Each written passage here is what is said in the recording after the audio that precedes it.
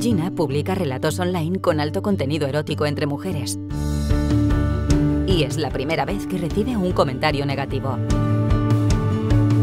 Las conversaciones con su crítica particular terminan convirtiéndose en la distracción perfecta para su mal momento personal. Mientras la relación entre ambas crece en intensidad, Gina empieza a pelearse a diario con una importante pregunta.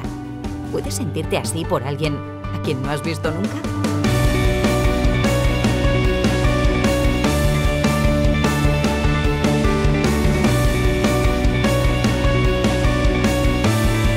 «12.700 kilómetros» de Chris Jinsey, publicado por Les Editorial.